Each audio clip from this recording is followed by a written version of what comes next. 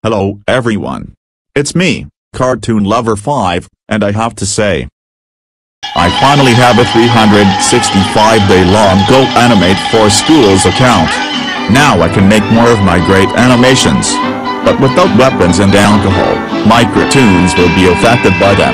Now I'm so happy and everyone's happy too. I'm happy to return to Go Animate.